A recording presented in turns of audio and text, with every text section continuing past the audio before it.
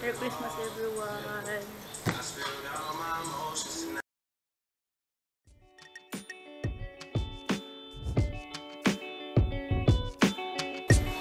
Ganda ng parko ng Diyos. Oh.